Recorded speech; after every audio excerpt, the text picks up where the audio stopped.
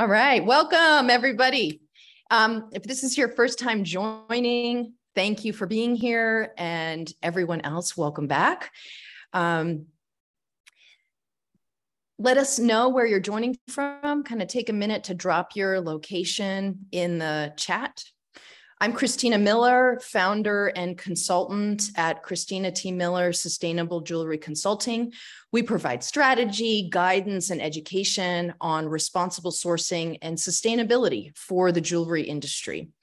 I'm here today with Ana Brazaityte, our education director, and Cecilia Echeverry, our operations director. If you'd like to find out more about us and our services, you can check out our website, we're dropping those links into the chat. And this, the living room, is an informal virtual hangout to support community and connection on issues related to sustainability and responsible sourcing in jewelry. We cover different topics every month, and we love to hear from everyone. So we keep the chat open. And you can feel free to share feedback on topics you would like to see discussed, structure changes, anything that you would like to share with us about the living room so that we can serve you better with it. Uh, we have a questionnaire that you can add to. So we want to thank everyone who uh, has shown up for this conversation and continues to arrive. Thank you very much to those who contributed via our pay what you want option. Um, this is really helpful and we're happy to be able to provide these sessions. Thanks for your support. So as a reminder, we are recording. So these videos do end up in the pub public realm and you're welcome to speak up and ask questions, put your questions in the chat. But when you're not speaking, please stay muted. And with respect for everyone here, please, if you're private messaging each other, keep it kind. Um, the private chats should be respectful of participants' privacy and personal space. So it's up to you if you want to answer, if someone reaches out to you in a private chat, um, be kind to each other. If you want to ask a question or have a comment, put it in the chat. And as always, if you want to stay up to date about the living room sessions and our work in particular, uh, we have a subscription service so that you can keep in touch. Our next and last living room session for 2022, I can hardly believe we're at the end of the year, will be November 18th. We're going to be doing a deep dive into jewelry specific laws as they are now and to anticipating pending changes and future developments. Tiffany Stevens and Sarah Yood of Jewelers Vigilance Committee, it's a US based organization, will share their insights with us. Um, and before we start, if you aren't already aware, CMC has a new online at your own pace course available. Yay! The course is a foundation, it's a way of thinking, it's a reminder that because we built the current reality we exist in, we can also change it. It will give you a better sense of what issues to be looking for when vetting supplier claims, to better understand how to use language to describe what you are learning. And then as you move forward, working to build deeper awareness into your practices. The moment you've been waiting for, the actual session, we're going to get started. So, at this time, I'd really like to introduce our presenters. I'm going to be um, introducing them in the order they'll appear over the course of the living room session. So, at this time, again, reintroducing Ana Brazaityte, our education director. Our next presenter will be Dr. Karen Westland. And I had the good fortune to meet Karen in person this past July in New York, thanks to the initiatives in Art and Culture Gold Conference. Dr. Karen Westland will speak about the ethical making pledge created by the Scottish Goldsmiths Trust, its origins, and how it's being rolled out. Then, as a case study of the pledge being implemented into a course curriculum, Lisa McGovern, course leader at the City of Glasgow College, will share how the college has been able to respond to the specific pledge points. And then we'll hear from Karen Smith. who one day decided to travel to Senegal to learn traditional jewelry techniques and is now going to share with us her experiences creating an education program for her organization, We Wield the Hammer. At this time, I welcome all of you and hand it over to Ana. Thank you, Christina. We just have a quick introduction for everyone. Um, so thank you all for being here today. Um, many of you here have been really instrumental in bringing the perspective of jewelry and metalsmithing educators to the forefront of our living room discussions, which are usually a little more focused on the jewelry business side of things. So um, we thank you for that. And this then led to some behind the scenes conversations with um, Russell Arman and Curtis Arima hey y'all, from the California College of the Arts around the creation of a guidance document for sustainable jewelry education that could be implemented at any and all jewelry and metalsmithing schools and programs. We're also grateful to the Ethical Metalsmiths Education Committee for taking the initiative to help us organize the run of show for this session and for offering to continue this work through their upcoming International State of Practice webinar. So we are really aiming for today to be the beginning of a collaborative process of an action group working toward clear guidelines in responsible and sustainable practices in jewelry and metalsmithing education programs. And here are our areas of focus and the questions that we are keeping in mind as prompts who has access to jewelry education? What are students learning and what should they be learning? And how do we find solutions within entrenched systems? And of course, when we consider these questions, we want to make sure we are considering them through a lens of the different domains of sustainability, environmental, economic, and cultural. So we've asked what are students learning and what should they be learning? We're wondering if the curricula of jewelry education programs is really preparing students to head out into the world and build responsible and sustainable jewelry practices. So here we have just a few examples of points to consider through the lens of each domain of sustainability. What we're starting off with here is of course, not an exhaustive list of considerations, as fleshing all this out is going to be a part of this whole working process. But it's meant to lay a little bit of the groundwork. Um, when it comes to environmental sustainability, uh, are students learning the environmental impacts of not only their studio practices, like proper chemical use and considering their packaging, et cetera, um, but the environmental issues around their material sourcing as well. In regard to economic sustainability, does the curriculum include topics such as supporting economic development in artisanal mining communities or discuss the topic of a living wage in the jewelry industry? And looking at this through a lens of cultural sustainability invites the question of how and to whom are skills and traditions passed down.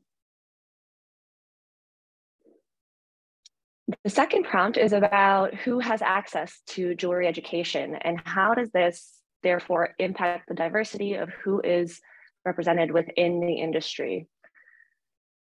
So while this people focused prompt begs more considerations within the realms of cultural and economic sustainability, these domains are always intersecting and impacting each other. So we want to make sure that um, a multitude of experiences and perspectives are considered and included in the creation of new systems and curricula.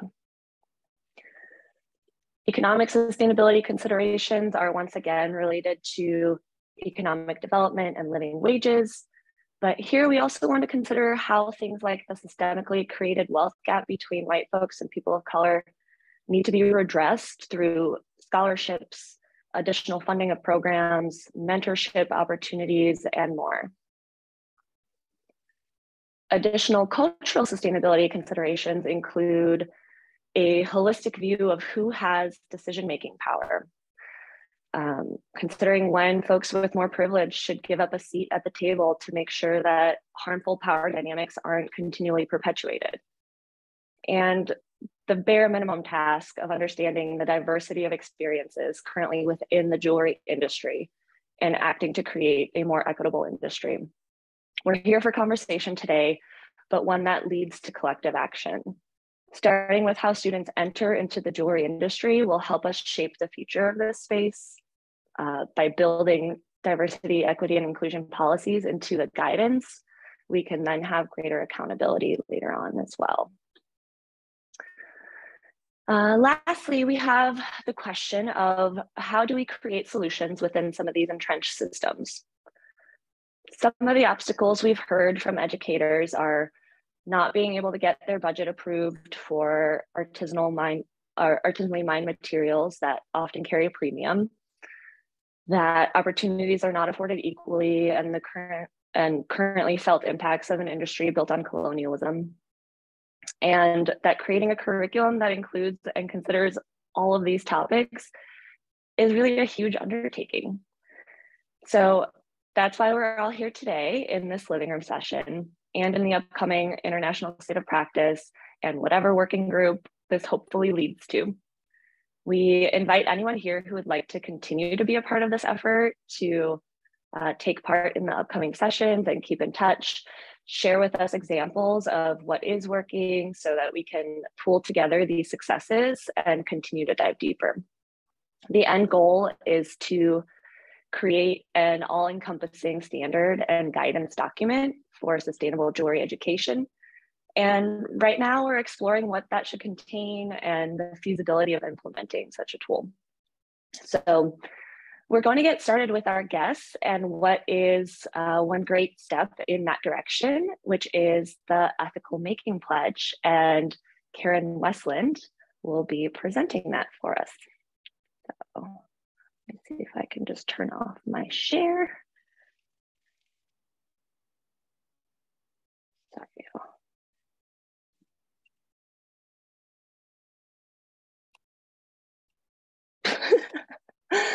um, Christina, are you able to turn off my screen share? For some reason, I can't. I'm moving my cursor. I can't get to that button. Oh, wait, I got it. There we go. Sorry. Y'all. You got it. No worries. Hey, hello, everyone. Hopefully you can see my presentation. Looks great. Yep. Perfect. Um, Yes, so thank you, Christina and Ana. Um, it's a pleasure to be here to share what the Scottish Goldsmiths Trust has been doing uh, to support ethical making education in Scotland and more recently across the UK. Um, so I guess this is very much a kind of case study of Scotland, um, which hopefully uh, can be, um, yeah, you can learn things for hopefully a kind of US context. Um, so the Scottish Goldsmiths Trust, or SGT from here on in, is a charity that uh, supports and promotes the education, art and craft of jewellery and silversmithing heritage and trade in Scotland. Um, and through this talk, I'll introduce um, a bit about the SGT and one of our four programmes um, of activity, which is the Ethical Making Programme, um, for a bit of context before diving into the Ethical Making Pledge itself. Um, so hopefully my slides moved on. Um, so first of all, a bit of background information. Um, the SGT was founded by the Incorporation of Goldsmiths of the City of Edinburgh.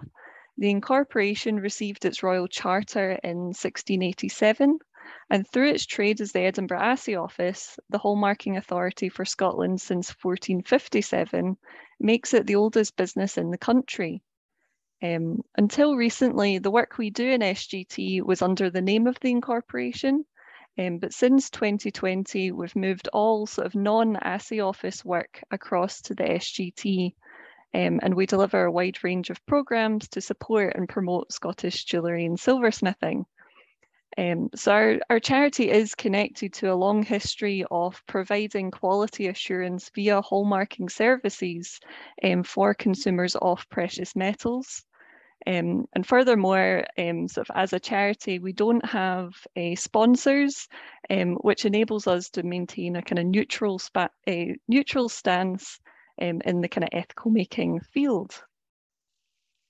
Um, so more kind of broadly, one of our core projects is the Elements Festival of Jewellery, Silver and Gold um, that we run in partnership with the Auction House Lyon & Turnbull in Edinburgh. Um, and this is an annual festival that showcases work um, of 50 contemporary makers across the UK. Um, and this year our exhibition is the Goldsmiths Craft and Design Award winners. Um, and this celebrates both the trade and craft. Um, our 2018 exhibition was Perspectives, Creating Jewellery for a Fairer Future, um, which explored sort of uh, different ways in which makers can address e the ethical implications of making with precious metals and also alternative materials. Hey, Karen, this is Christina. Um, yep. Your slides aren't advancing. Well, they're not advancing. Okay. No.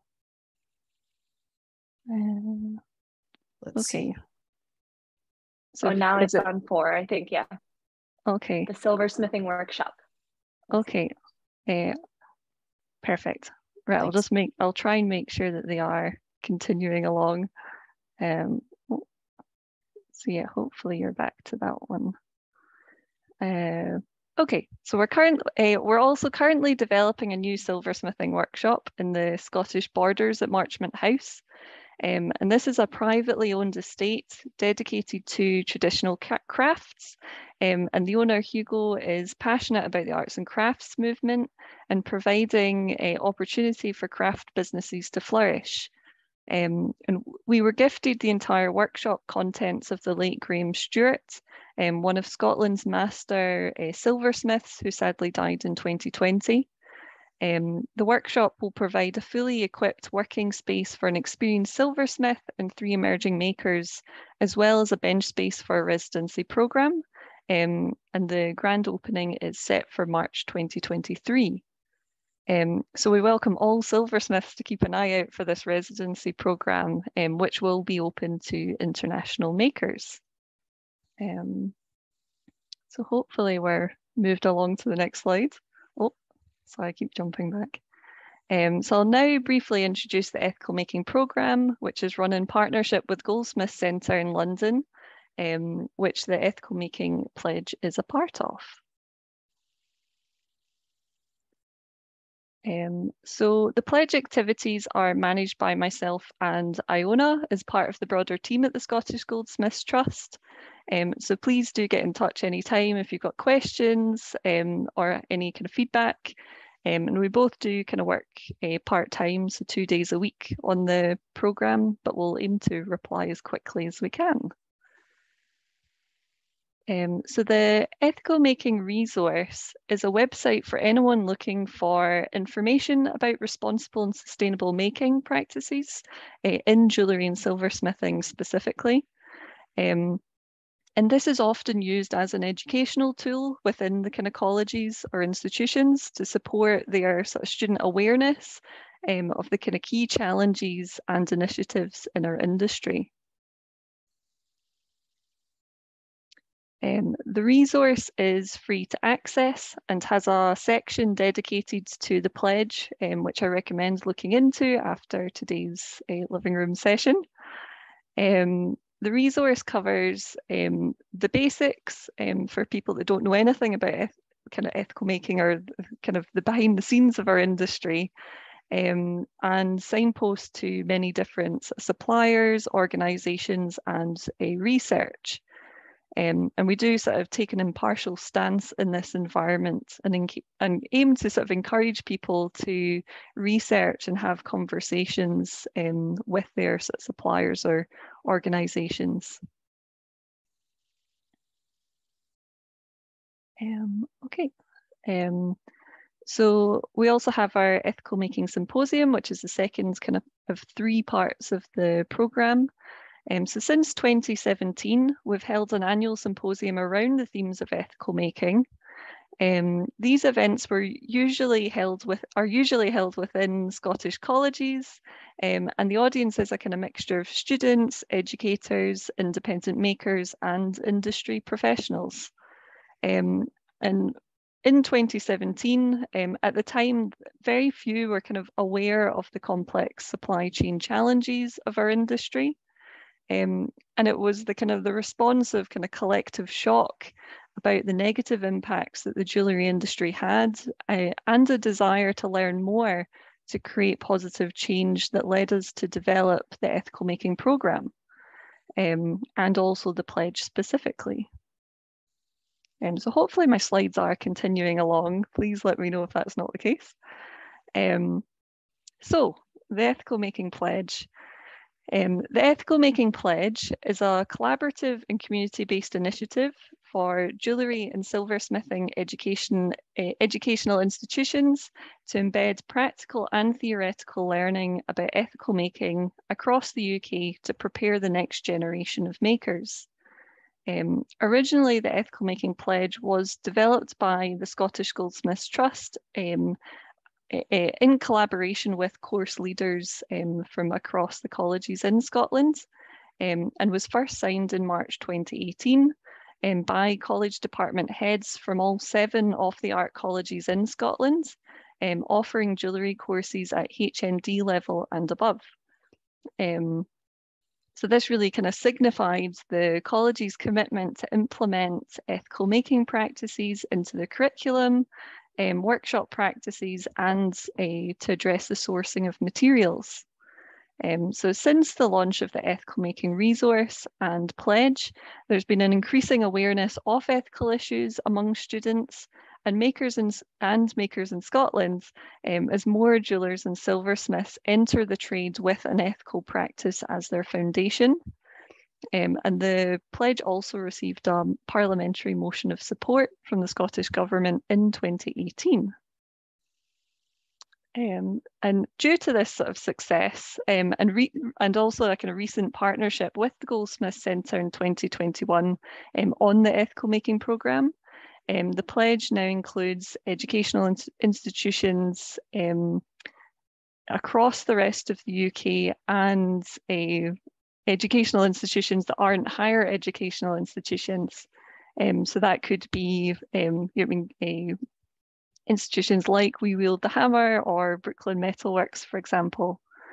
Um, so in early June, we're really pleased to have the Goldsmith Centre be the first institution outside of Scotland to sign the pledge, um, which will support the education of their foundation students and their apprentices. Um, more recently, uh, in September, leaders from our four or from the four independent institutions across Scotland collectively signed the pledge, um, which will support their students on like short courses or foundation programs um, in their kind of ethical making uh, learning. Um, students from these institutions sometimes move on to higher education, um, so it was a natural link to include these institutions into the initiative um, and to sort of support ethical making thinking and doing early in the learning process. Um, so here is a list of the pledge points, um, which are points that the signatory um, institutions strive to address. Um, so signing the pledge is a commitment to work towards these points, um, which I'll read through now. Um, so point one is around sharing the ethical making pledge with staff and students in the department. Um, and this can be as simple as sign uh, pinning a kind of copy of the pledge document onto a notice board. Um, pledge point two is around nominating two student ambassadors each year who will take part in biannual information sessions with us and who will support uh, and the adoption of ethical making practices within the department. Um, so student ambassadors help ensure that the ethical making pledge is fit for purpose um, and increase student awareness of the pledge and of ethical making within the institution. Um, point three is around working towards the transition to ethical metal sourcing in the department with our support. Um, and this involves sort of considering the types of metals supplied within the department, whether in a kind of general sense or for specific projects. Cameron, the uh, slide didn't move right now. Oh, It's, sorry. we're on fourth right now, yes. We're on four now. Okay, sorry, I'll I'll keep checking that it does update. Um, point four is around incorporating ethical making into the curriculum with the goal of writing ethical making awareness into curriculum requirements. Um, so different colleges have addressed this point in different ways, um, whether by creating their own projects around ethical making um, or course modules, um, or considering the kind of broader strategies within their curriculum. Uh, Point five is working towards incorporating ethical making practices uh, into workshop methods and providing students with skill sets necessary to build their own ethical practice. Um, this is a very sort of practical pledge point, uh, most mainly supported by department technicians who can inform students about the changes made in the workshop and to outline different options available for different materials or processes. Uh, and then lastly, point six is collaborating with us to sustain and build the pledge for future years. Um, so on an annual basis, uh, course leaders complete a survey at the end of the academic year to track their progress. Um, and we use this information in a non-judgmental way to sort of celebrate the great strides that they're making, um, but to also identify areas for future improvement. Um, and we also gather feedback from the student ambassadors to understand their perspective. Um, so the, the, ethical making sort of student ambassadors play a kind of a real key role um, within the pledge.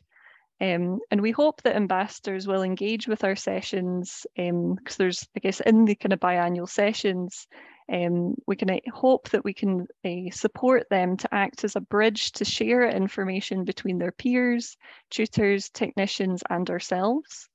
Um, and in some colleges, ambassadors are part of the kind of monthly student rep meetings, um, which allows this exchange of information in the kind of systems that already exist within uh, the institutions.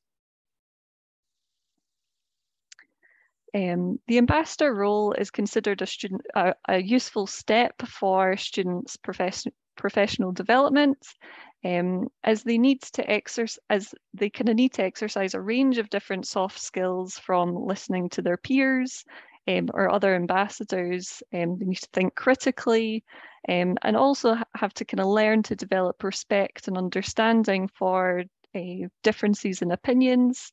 Um, and also sort of to develop different approaches to communicate with uh, tutors and ourselves in a professional way. Um, and our collaboration with ambassadors aims to develop a range of skills in a safe environment to support their na navigation through our sort of complex supply chain issues um, so that they have some experience of this before they graduate as professionals. Um, so now for some examples. Um, so many institutions have done the same or similar things in regard to ethical making. So I am just sort of highlighting some of the kind of key activities um, that have happened. Um, so the Glasgow School of Arts are working towards embedding ethical making into their design sort of process-led ed education. Um, so it's not a separate discussion from other design considerations. Um, the GSA also had a pop-up exhibition in Glasgow Central Station during COP26. Um, and they have a sustainability and action group, um, which supports students with within any discipline to network and find positive action to take.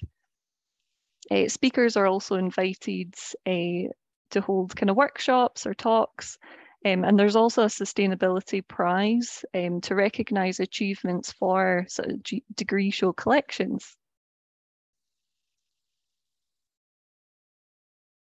Um, here are some images of degree show work from uh, this year. Um, and we've noticed a change in the approach of students where sustainable material exploration is um, subtle and embedded within their work. Um, rather than always being at the sort of forefront of uh, this sort of design concept or aesthetic.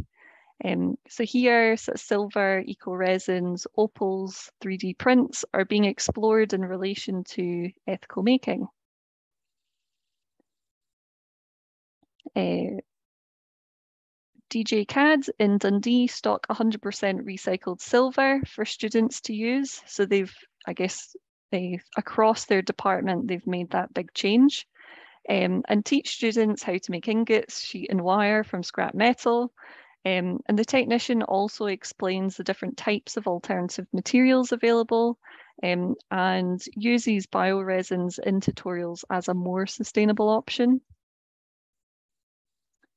Um, students also explore sustainability themes through research and writing on modules related to sustainable development goals, um, such as their second year Change by Design um, and their 21st Century Designer courses. Um, as with all the signatories, um, the Edinburgh College of Art have a metal reclamation schedule um, which is clearly labelled for students and they've also changed the safety pickle. Um, many of these practices are things that jewelers have been doing since ancient times, um, but it's also been about ensuring that students are aware of the kind of financial and environmental uh, benefits of doing these things. Um, earlier this year, um, we organised uh, the Radical Jewellery Makeover Scotland project uh, in collaboration with the Ethical Metalsmiths. Um, and this was in response to our student ambassadors who wanted to work on a project that engaged with the themes of COP26, um, but also allowed them to engage with costume jewellery, which is more accessible to them than traceable uh, kind of precious materials. Um, students and staff from across six of the Scottish colleges were involved in transforming old and unwanted jewellery into contemporary desirable designs. Um, and it was great to see an incredible turnout of visitors during the private view and students really embraced the project and we received sort of positive feedback, particularly in the way that the project connected students across year groups and institutions and the wider industry. Um, so this is my last slide. Um, so really, we kind of want students to be prepared for the future of the jewellery and silversmithing industry, um, which encompasses the ethics of how we produce our products and their material provenance. Um, our future aspirations are con to continue collaborating um, so for example, we hope that the students uh, from the pledge signatory um, institutions will continue on to the Fair Luxury Pledge, um, which is for industry professionals. Um, we look forward to continuing our partnership with the Goldsmith Centre and our 2023 symposium will be in collaboration with at least uh, two higher educational institutions in the UK as well. Um, so I hope this presentation is really kind of emphasise the benefits of this community engagement and collective action through the Ethical Making Pledge. Um, and I'll now uh, I'll now sort of pass on to Lisa to share more about the incredible work um, that they are doing at the City of Glasgow College. So while um, Lisa gets set up and ready um, with her slides, you know, there are a couple threads to make sure that you're all hearing through all of this. So, you know, um, I think you know what what's been really uh, significant uh, for me looking at the history of things is is everything happens on a continuum, and there are multiple pockets of efforts and work happening um, all over the world, kind of simultaneously you know and we don't necessarily hear about each other because we're not communicating about these topics but the ethical making pledge is sort of one of the um, most kind of concrete tools that we've seen uh, looking across the spectrum to um, unify educational institutions on a on a kind of particular trajectory so um, Karen Westland, thanks so much for that presentation and kind of setting us up for that. And um, Lisa, looks like you're ready. Thanks. Thanks, Christina. Hi, so I hope everyone can see my screen okay. Is it shared? Um, so thanks, uh, Karen, um, for all the, the sort of great sort of introduction you've done there for us. um, so basically, this is um, the City of Glasgow College here. I just thought I'd sort of put up a, an image of the college. Um, we're based in the centre of Glasgow. It's the largest uh, college in Scotland. Um, we're a further education college, so basically that, that means that we offer courses from foundation level right through to HNDs, right through to degree level. Um, a lot of our students come from uh, the, the demographics are quite wide. It's an all-inclusive uh, college, so we get we get a, a, sort of vast variety of students coming to the college. Um, I think this is actually a, a sort of artist view of the college because it's never that sunny. Uh, and someone's walking about in a t-shirt, so I know it can't be real. Um, but yes, we like I've just sort of gathered together a few sort of snapshots from what we've been doing at the college. Um, my role in the college is curriculum head for craft and design, so um, that encompasses jewellery design and applied arts. Uh, my background's uh, I came from um, a degree in jewellery and silversmithing from Glasgow School of Art many years ago. Then I could sort of get into lecturing and teaching, and now I'm sort of the sort of overall head of the department, but I still sort of um, teach on the programme. So in 2018, um, our college signed the Ethical Making Pledge um, with the Goldsmiths Trust. Um, I think basically before then we did we, we had the ethos within the department um, to care about the environment and to look at how ways of changing and, and integrating more and more, um, raising awareness with the students. Um, but by signing the pledge, it somehow made it more concrete um, and it made us really sort of start to look at things um, in more detail and to give us kind of that guideline and that sort of focus that maybe we needed. Um, it coincided with me taking on the role as the curriculum head, so it meant that um, because I was passionate about it anyway, and I think if it's instilled instilled in you as a, as a person and as a maker, then it makes it easier for you to, to then implement these changes or to make these sort of decisions.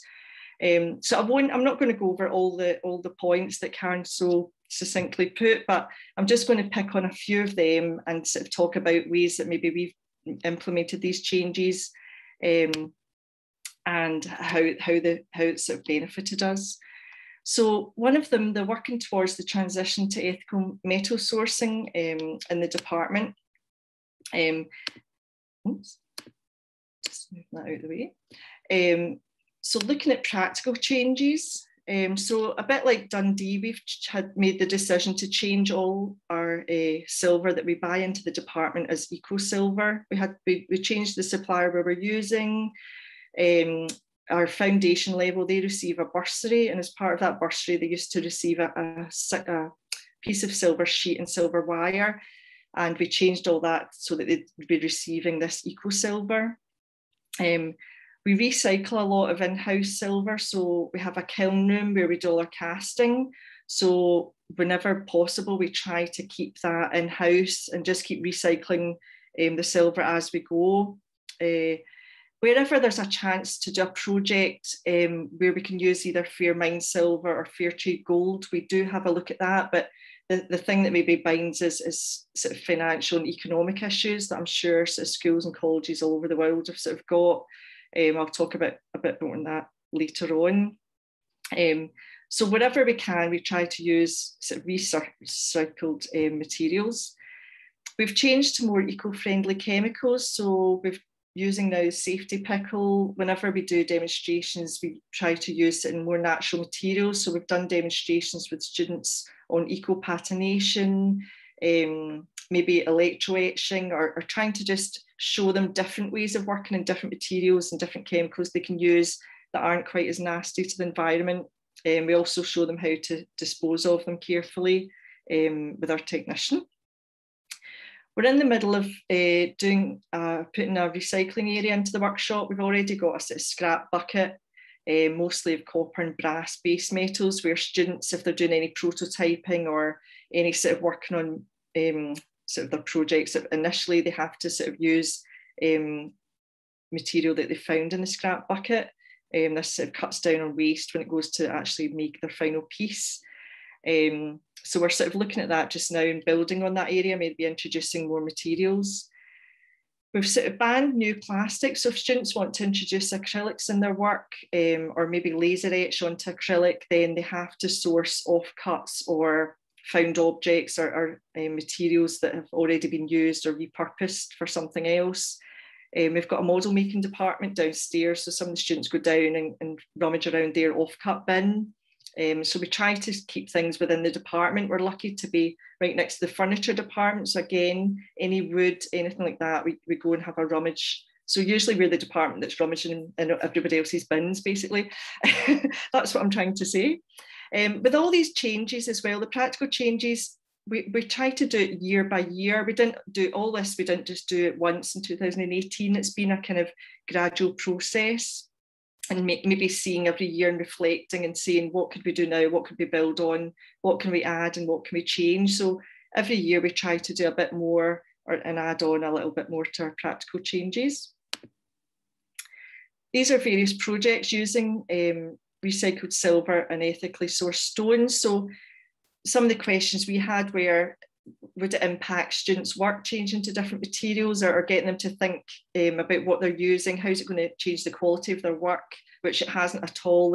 We strive to sort of, um, you know, with the quality of work, um, looking at, you know, how they, how they embed it in their work and how they're going to integrate it into various projects.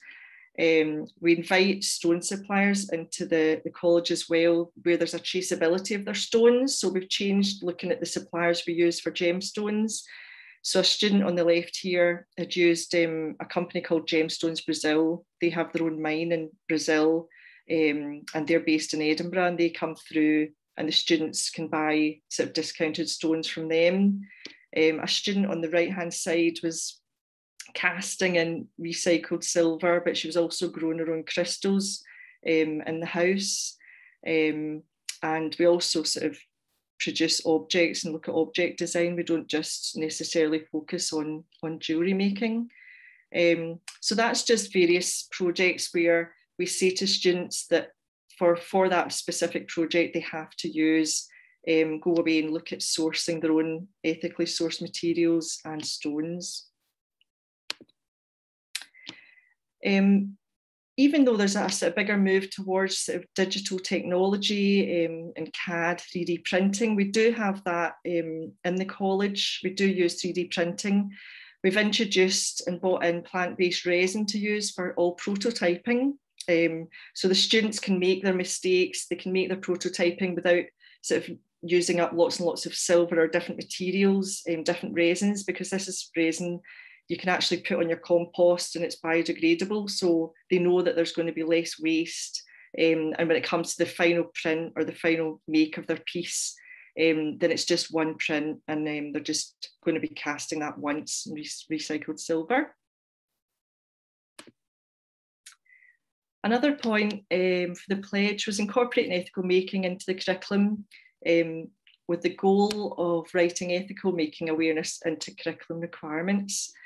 Um, so alongside the practical activity um, and the practical materials, we also sort of try to raise awareness uh, with the students and staff um, and outside with whatever we're doing. This might be looking at the sustainable development goals, um, maybe not looking at all of them, but we might pick one or two um, like climate action or the responsible consumption and production um, and how we can integrate them and embed them into maybe specific projects sometimes it be, can be quite difficult to do because we're tied to a system of, of modules that we have to follow that are set by the Scottish Qualifications Authority. So it's slightly different to the art schools, have a slightly more free reign. Um, we have to stick to what, whatever the units are, but within that we can sort of then um, do what we like sort of thing. So how we raise awareness through project briefs. Um, we run an Eco Awareness Week every year. Um, we've started in um, 2019, I think it was, a school design competition. I'll speak about that later. And every year we try to do a, a green Christmas fair where everybody in the department makes a pair of earrings, a, a pendant, a small pendant using recycled silver. Um, and we sell this in the college. Um, and that means that the public, it's open to the public and it's open to staff and students within the college. And it raises awareness because we sort of put a sign up and let the students and people know what, what materials it's made of and, and why we're sort of doing that. We also um, did a project that we're going to do again called Ring in a Lunch Hour. So this is staff throughout the college could book on in their lunch hour and they come up and make a silver ring using recycled silver. They're allocated a student. Um, and it's great for the students because they get to a bit of teaching practice in their second year. They get to um, you know, um, sort of tell and, and, sort of explain to the member of staff about the, the purpose of what they're doing and why they're why they're using the recycled silver. And for the staff member, it's great for them. They're, they're getting a chance to break away from the computer, but it's maybe opening up their um, sort of experience and knowledge about what is recycled and what the what the goals are that the department are doing. So some of the briefs that we've done um, in first year, we, we also run an art medal project. It's the student medal project with the British Art Medal Society. So this is an annual national um, exhibition and competition. And the briefs are really down to each college. So whenever I've been running it from 2015, we've introduced um, different themes, whether it be looking at plastic pollution, light pollution, decline of the insect population and changing weather.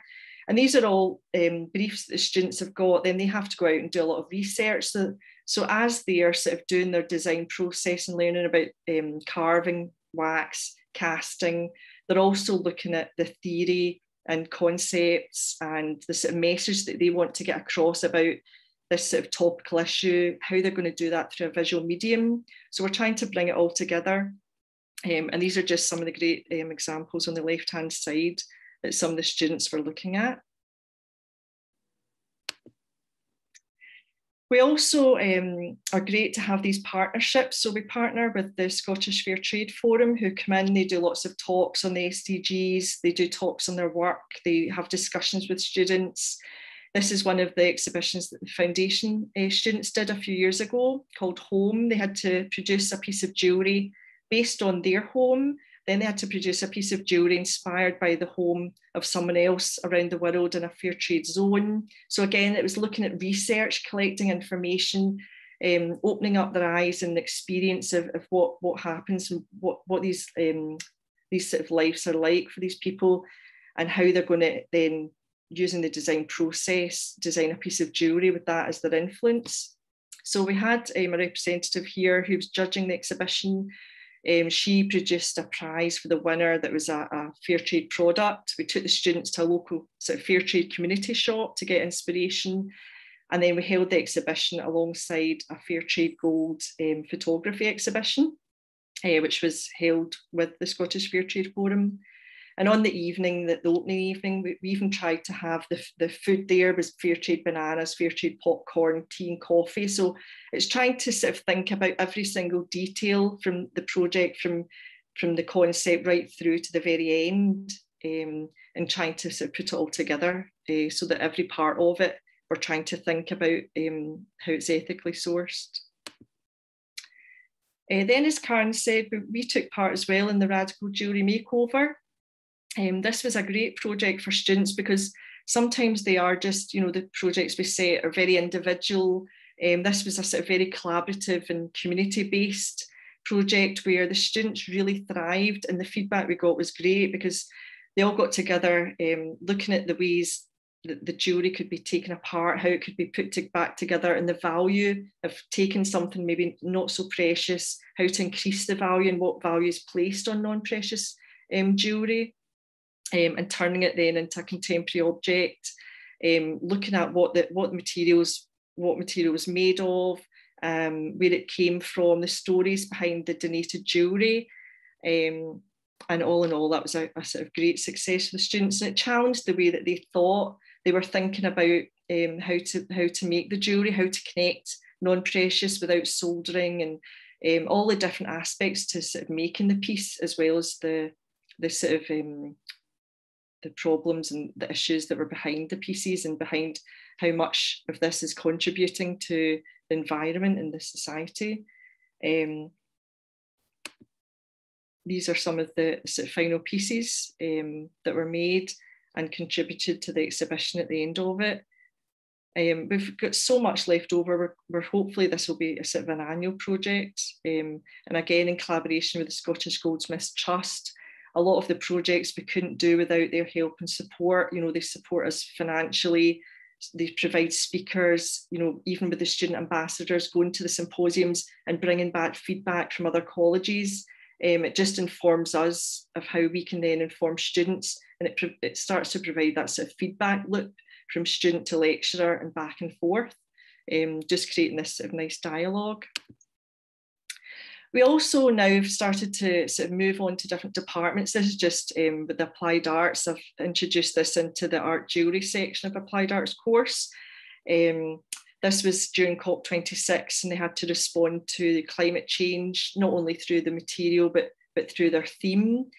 Um, and this was held in the RGI Gallery in Glasgow. So whenever we're trying to, to do projects, we try to either do a live project or a competition or something that's going to increase student engagement rather than just setting them a simple task or, or having a quite a dry brief. Um, we've noticed that when it is a live project, the students really, um, it really increases their engagement. They really want to get involved because it's going to get, um, sort of go to a, wider audience, if you like. A lot more people be seeing it. Um, it gets them used to working to tighter deadlines and things. Um, for example, the piece in the middle that was used, um, it was a statement on fast fashion, and she's used recycled, um, sorry, cable ties and um, sort of melted down plastic fashion carrier bags to make this sort of fashion statement piece. And the piece on the right, I think, was a statement um, to do with the greed of the oil and gas companies, this sort of big medallion chain piece. So now what we're trying to do is sort of increase the, the sharing of good practice to other departments within the college. Um, we've also now got a, a, sort of, we've contributed to a general um, carbon literacy model, module um, that's a general module that can be applied to any sort of subject within the college um, and they can apply whatever subject they, they have to it. In the second year, we also run a, a developing entrepreneurial skills unit. Um, so this is for point number five. So working towards incorporating ethical making practices into workshop methods and providing students with the skill set necessary to build into their own practice. So when they leave, we want to instill into them to be a responsible maker, to think about their actual practice when they leave. Some articulate onto the art schools, but some people want to, when they finish, set up their own business. So we're lucky that we um, have in the college this bridge to business. It's it's sort of bridging the gap between when a student finishes college and to setting up their own business, um, where they have to develop business plans. Um, and again, since we've sort of uh, introduced this sort of new concept, um, what we do is we get them to deliver a business plan, but throughout it, we, we sort of teach them all about um, sustainability in their practice and um, how to maybe source materials and, and what the impact is on the planet. And when we've had the business plans back, um, we've noticed over the past couple of years the amount of students that's increased actually um, sort of integrating that into their business plan just naturally um, has been a, a really high percentage. So these are just a couple of sort of examples um, where students, you know, they're thinking about this person here, they're thinking about um, their packaging, how the packaging will be 100% recycled. They'd like to have business cards that uses seed paper and can be planted once you've read the message on it. So they're actually starting to think now about their own practice um, and, and about every aspect of the practice, not just from the materials, but how they can then sort of have that as their packaging or how they can get a message across to their customer. Um, and even if one or two students, it impacts one or two students, it will then impact an audience when they get to their client based. This is annual Eco Awareness Week. So we have this every year um, where we invite speakers. Um, there's Karen Westland um, from the Scottish Goldsmiths Trust, but in this capacity, she come in talking about her own work and her own ethical practices. Um, we hold demonstrations um, about maybe eco patination or how to recycle student silver, um, how to melt it down, um, we have conversations with different um, alumni, maybe graduates that have gone on to um, embed um, ethical practices in their own work. They come back and they have conversations with us and it sort of inspires then the next set of students coming up saying that yes you know they can do this. They can do this in their own practice. This is how it's worked for these eight students um, and we hold workshops on circular design so just for that week only not just for that week but for that week only we really focus hard on sort of making it quite a um, a sort of a lot of activity and a lot of flurry going on in the department that we can sort of shout about and raise awareness. We also introduced um, a secondary school design competition. This was done a few years ago. We started off with 30 pupils um, getting involved and um, entering our competition. And then last year it was 400 students that all entered. This is done with them um, basically just asking secondary schools if they want to take part um, their pupils will design a piece of jewellery. We always have a sort of climate-based theme again um, every year. Uh, and then the pupils will enter their designs and then alongside we have judges from the Scottish Goldsmiths Trust and from one of our suppliers um, who judge it and then we design, we'll take the, the pupils design and then we design it on CAD. Um, we send that away um, and that gets made up in recycled silver and then it gets sent back to the winning student. So, so it's a really good opportunity for pupils to engage school pupils from an early age um, to get involved, to start thinking about um, the environment, to start thinking about sustainability, and to start even thinking about jewellery design, um, and, and to still keep up that sort of craft in the schools. Um, and to make for us, it's good to make links with the schools because this could be our future um, generation coming in, and it's great for them to see their design going from from paper to, to a 3D um, actual pendant. Uh, this is just to end on a kind of um, overall theme that we had um, for COP26 and it sort of encompasses everything that we're trying to do. We, we used a, a design competition for the class to look at um, the rising sea levels and how it would affect the planet, whether it be in Scotland or their own area or globally. They just had to go out and research that issue. They then had to design a brooch for the First Minister to wear at COP26. Um, luckily, um, the Scottish Fair Trade Forum and Fairmined Silver provided us with the materials to, to make the brooch. Um, so it was all using ethical um, materials. Again, it was a, a, combination of digital techniques and then we um, overlaid it with keum-boo, which is an old ancient sort of technique of um, using foil and, um, and laying that into the silver. Um, and then the First Minister wore this at COP26. So this was great because it was a glo- it allowed a global audience. It was great for our students. It was great for um, raising the profile of the department, show, showcasing what the department does, um, and hopefully just by her wearing it um, and displaying it, then a lot more people be aware of, of any sort of all these issues. Um, these are just some of the challenges I guess we've faced. Um, and I think it's probably universal across lots of colleges and schools where the challenges, um, maybe financial, we are sort of bound by budgets, um, how to how we have to sort of make ways around that is maybe by looking at partnerships or or trying to get funding elsewhere or or maybe minimizing what we're doing, making it smaller pieces. Um, it's quite challenging though, especially in these sort of economic times. Um, sometimes time's a challenge as well. Some of the lecturers, if um, they're wanting to, to do a, a, great project, we just have really strict prep time. And, and as you know, prep time just goes um, because you're trying to prep. I think people that, that think we prep practical courses, we've actually got double the work. You're, you're prepping for a practical demonstration, you're prepping for a, a, a lecture at the same time, you're sort of doing assessments and things. So it's trying to find time uh, to, to do all these implements and implement all these changes. Um, sometimes there's challenges from maybe management support, you know, trying to get support when we are trying to implement great changes or environmental changes um, and changing the mindset maybe of, of people and, and, sort of making them raising awareness with them of what we do.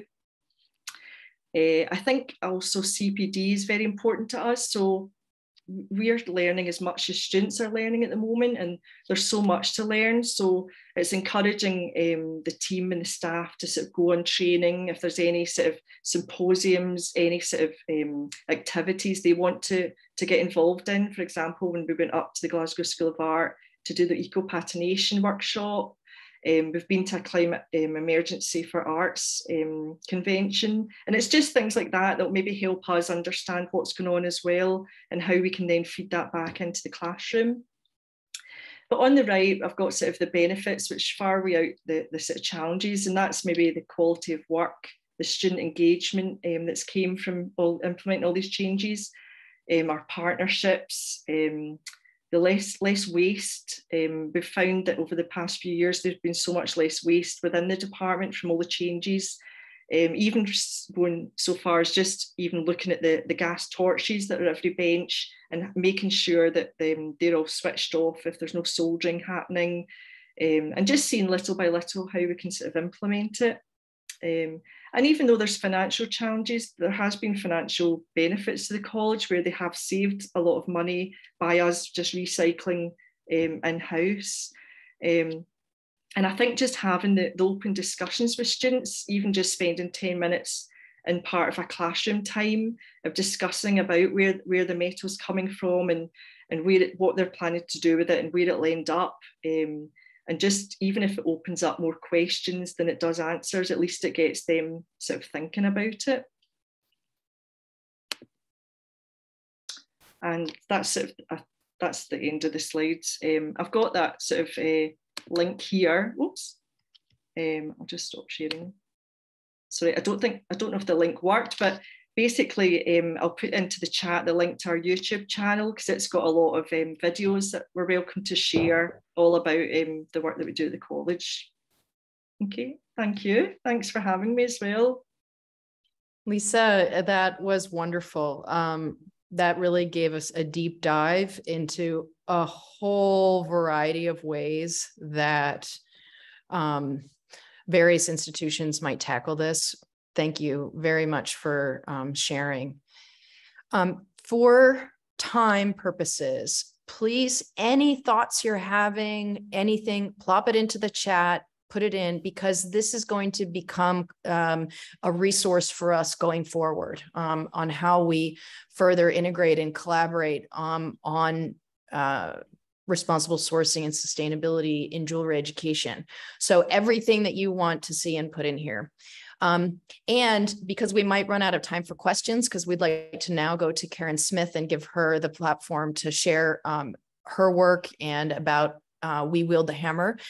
And so, Karen, you know, before you start in with your conversation, I wanted to ask you. Um, we Wield the Hammer is filling a really specific need in the jewelry industry.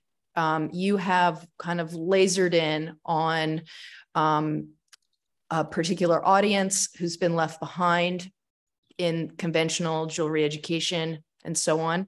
And so before you get started, I was curious if what you're seeing with the pledge and uh, what you're hearing from other jewelry and metalsmithing educators uh, across the ocean, how how do you do you see it as a tool that uh, you could use as well? Or do you see what you're doing as um, being kind of a specific segment of that pledge? How would you like us to think about what you're doing? Um, I would like us to think about what I'm doing as um, as meeting uh, a tenant of that pledge, um, because I think that there's a way that we think about DEI. Everybody talks about DEI right now. Oh, we got to get diversity and inclusion and whatever. And what that gets reduced to is let's get a couple of Black people in here, right? Or, oh, George Floyd died and we realized that there's not enough Black people around. And um, that's reductive and it's actually not helpful because what I keep seeing um, and what I think we don't talk about enough is um, is what real diversity would look like in the industry, what real diversity would look like. Um, I mean, with real equity and inclusion would look like, because so many times a lot of the discussion is is narrow so it's like, let's get some Black people in here and train them to be bench jewelers. except the industry is huge, right? Like I don't hear us talking about how we can get people of color and working class people and more women in leadership roles and um, how we can get you know, there's a way that i don't think we talk enough about what diversity actually is how can we get more um, how can we get more uh, suppliers that we can then exchange with. I have been invited to um, uh, work with the Jewelry and Gem Association of Africa. And like they are really, uh, they are really concerned with getting um, more equity for Africans in the gem industry, right? Because you know, Africans do the mining and everybody else makes the money, right? And so if we're talking about like sustainability and and equality and inclusion, um, there we need to be talking about it all the way around. Um, um, I love some of the things that Lisa said when she was talking about quality of work and that kind of thing. And there's been so many ways. I've talked to so many jewelers who are not white and not wealthy and don't have access, right? So they may not have been trained in these top schools and, you know, and they don't network with a lot of the, um, a lot of the well-known um, uh, masters and what have you. And, you know, they have said, oh, we don't get to show at, you know, X place um, and I don't think it's important to mention names, but we don't get to show in this place here in the UK because, you know, um, we're told that the quality of our work is not that great, right? Um, and if that's true, right, who's mentoring these people who, who to, to get the quality of their work up? Who decides you know and and and i and i'm certainly not here in any way to suggest that we um, accept substandard work that we uh, ignore um, the importance of of um, training and you know apprenticing and you know all the things that are important all the steps that are important to creating beautiful work. But I think there's a way um, that this conversation, when we talk about who has access to jewelry education and, you know, what the students are learning versus what they should be learning, uh, not versus, and what they should be learning. Like, I think we need to broaden that out. I would like to, you know, suss that out. And I think you're right, Christina. I have honed in on a specific uh, market, um, and that is young women um, uh, uh, 14 to 24 of African descent, um, because that's where my interests are. Those are the people who um, historically have been left out around the world, not just here, um, for a number of reasons, not just gender for economic reasons, for cultural reasons. Like there's so many reasons why, you know, the last people to get um, access uh, in this in this extraordinary extraordinary vocation and art form is Black women. And so like that's how I have honed in.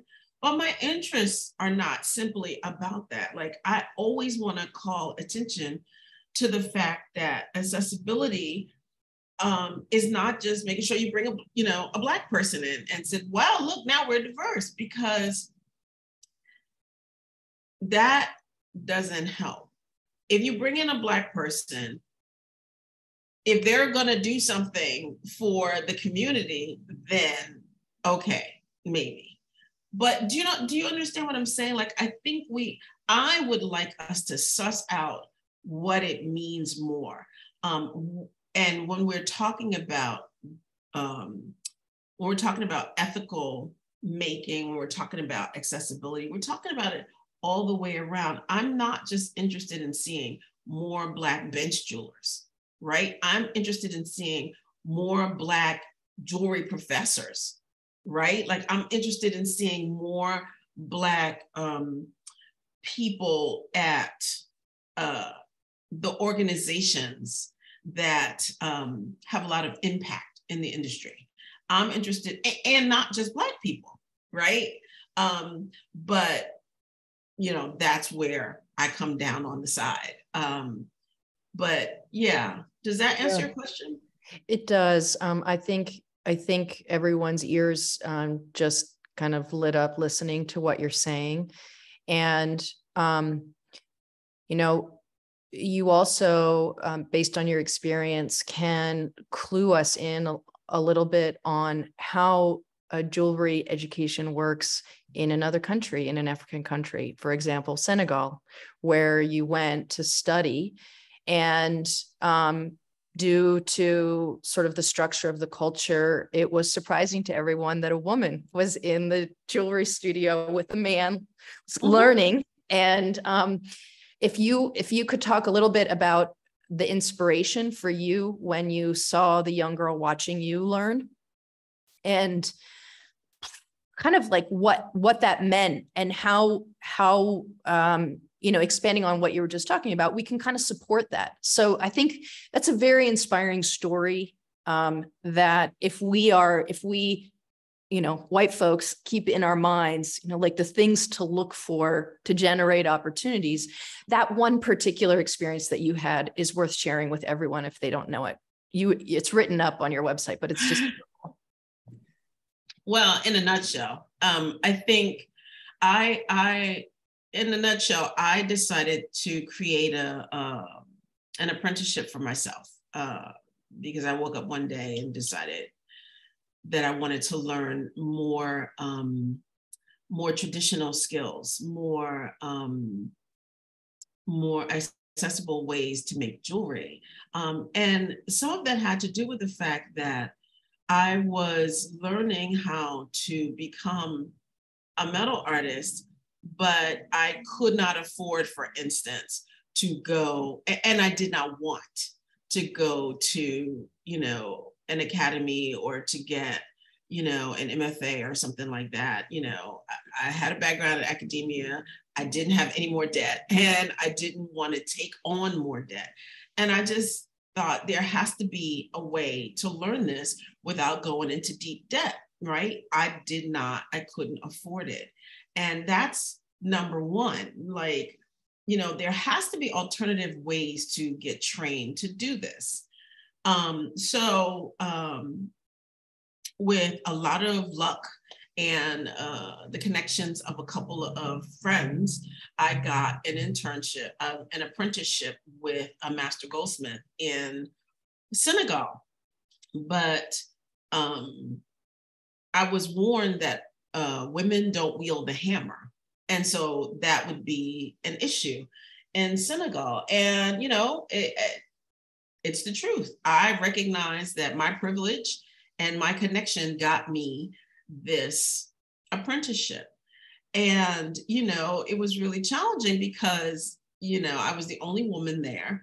Um, there were lots of men around, some of whom, you know, were sort of incredulous that I was there. Um, and but there were also young girls and women who would just like walk by and and and and react to seeing me doing this work. And there was one kid who just every day would just come and stare at me and you know she would never speak to me because you know she just i did not understand why she didn't speak to me but it turns out she didn't speak to me because she had never seen a woman doing anything like what i was doing like with fire or with hammers or with files or with a draw plate like she had never seen a woman doing that kind of work and so she was sort of stunned and my teacher's son said that she thought I was a ghost, which I still find a little bit funny.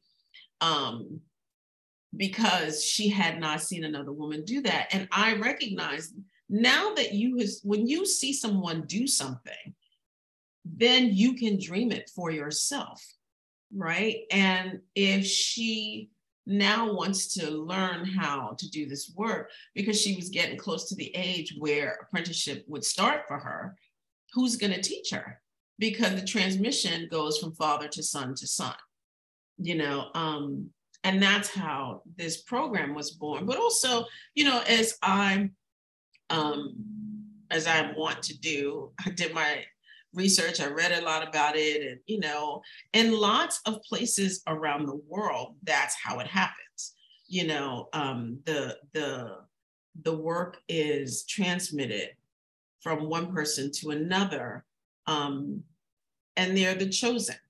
Whether that be because they are family, whether that be because they're men, whether it be you know whatever it is, um, they're the chosen ones, and we have that system here so the chosen ones are the ones who can afford, you know, uh, to go to jewelry school. Um, the chosen ones are the ones who even know that jewelry school exists, right? Like there are people who don't even know that they can go to school and get a degree in jewelry making in 2022, right?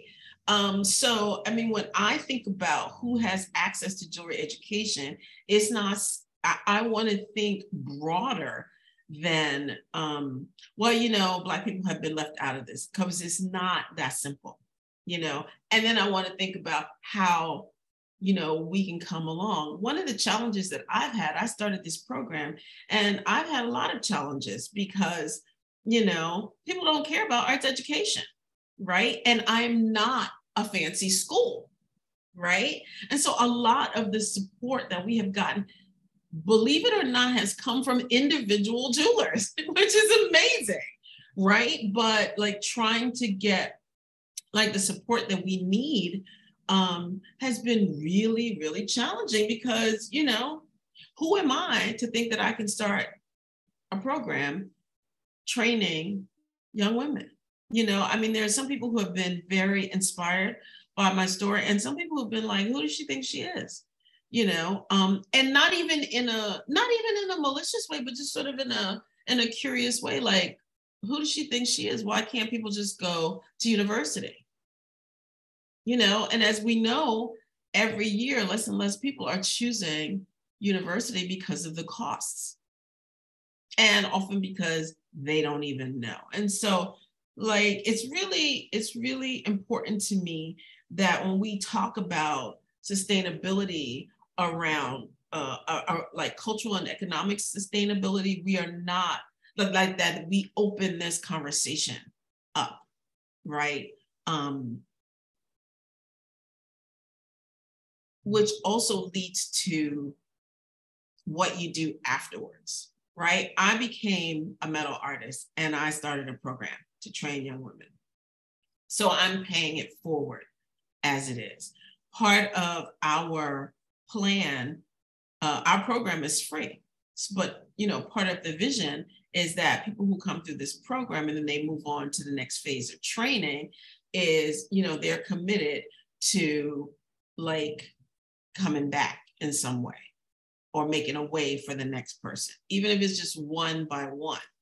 Because that's how change begins.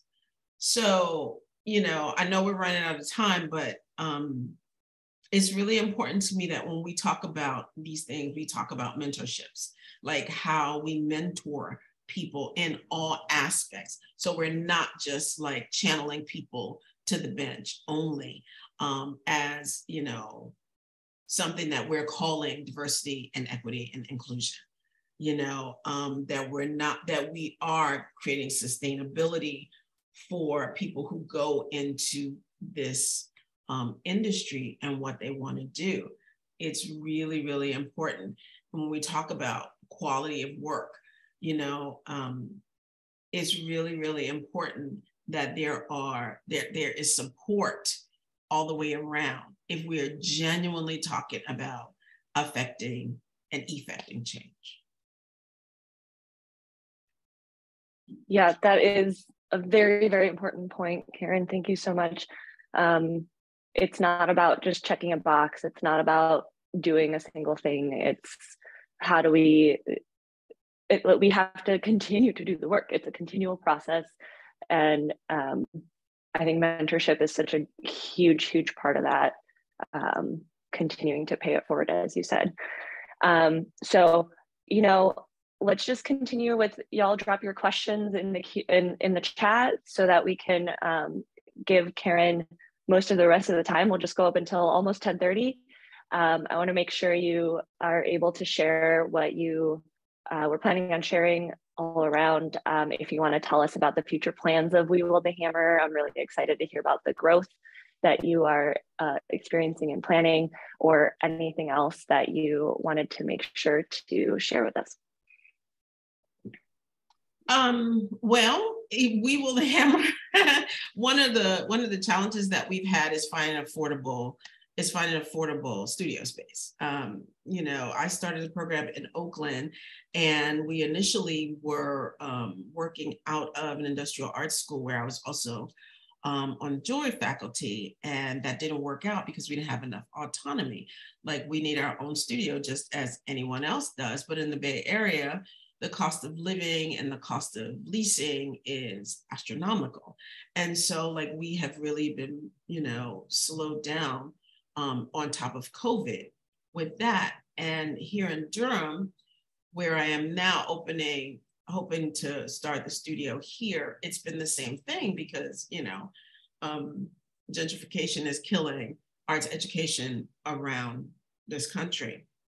And so, you know, I have made the decision to try to find us a place um, to purchase, you know, even if it's just like a tiny little plot of land and we put like a little building on it um, we have to find creative solutions to um, to our hind- hindrances. And because i don't have a mentor right? Like i decided that i wanted to do this and you know i just did it and i have flown by the seat of my pants. Um, and thank God I'm fairly intelligent, you know, like thank God I'm fairly resourceful. I've been able to move forward in a lot of ways, but you know, it's been a challenge just getting studio space. Like it's it's bananas. And you know, we have a 501c3, you know, and I've had people say to me, someone should just donate you a building. and I think that would be great. Who would that be?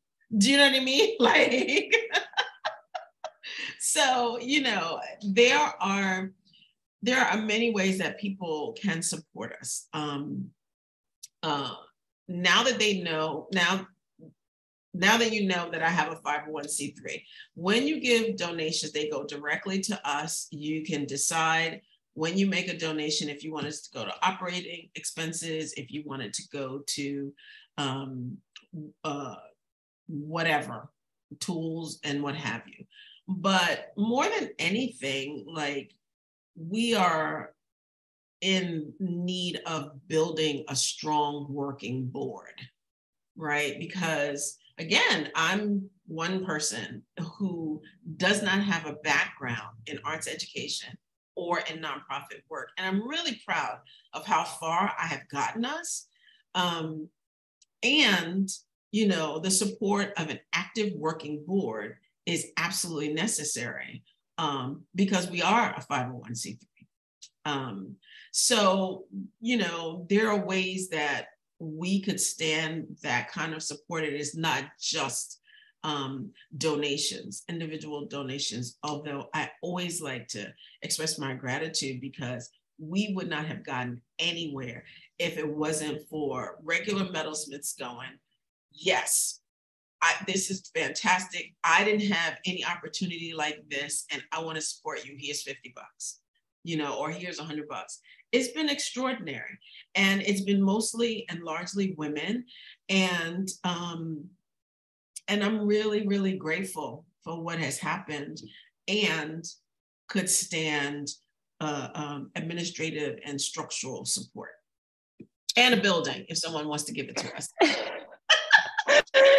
Karen, if if I had a building, I you would be the first one. I'd be like, yes, here you go.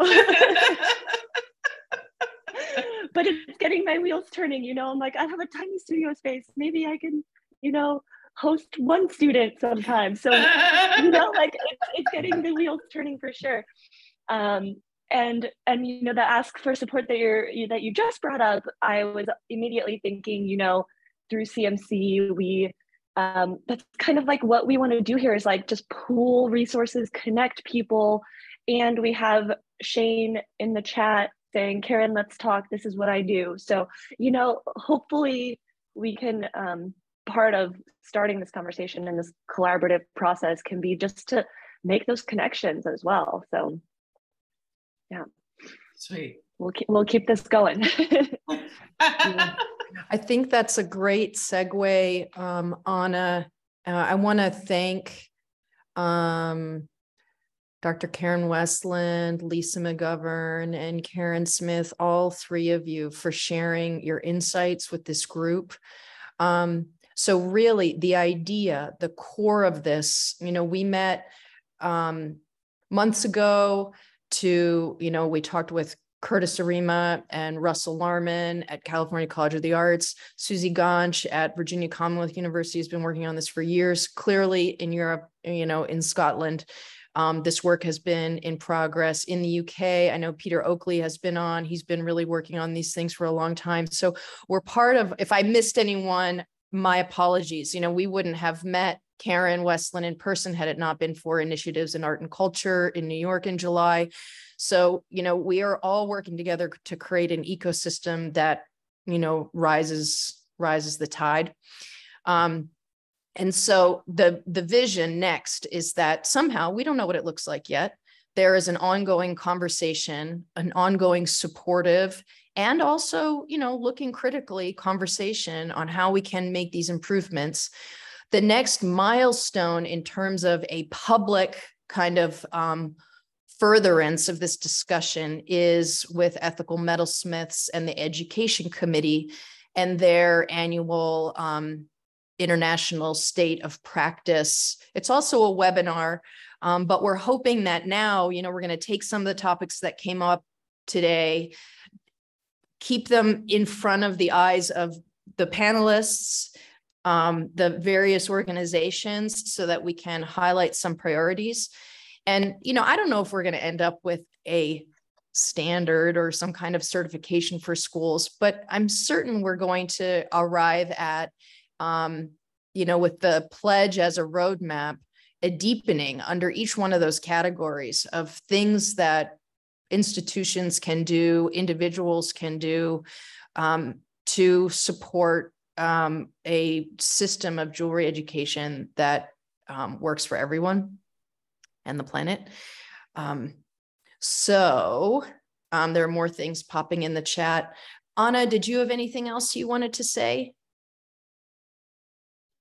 Uh, no, I think that's a great wrap up and just keeping in mind that, you know, this is, yeah, we really want to, we hope to keep you all activated so that this is like a, uh, it's not just a conversation that we're you know we're forming these connections and working groups and all of that but we kind of want to be the facilitator for that as much as we can. Um, so please please please keep in touch. Um, yeah. Yeah wonderful. Well we hope to see um, everyone next month um, in November. Uh, the laws we have to abide by are interesting and looking at it through um, the lens of sustainability and inclusiveness, et cetera, is important too, because the laws aren't, sometimes they're helpful, sometimes they're not.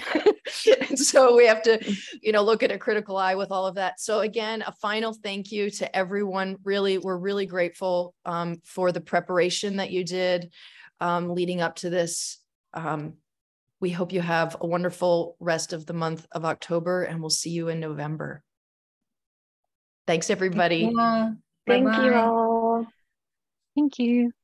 Thank you. Thanks so much for having us. Thanks yes, thanks so much. Um, yes, thank you. Yeah, Lisa, Karen, and Karen, if you want to, after everyone logs off, if you want to stay on for a second, you're welcome to. I'm going to stop the recording.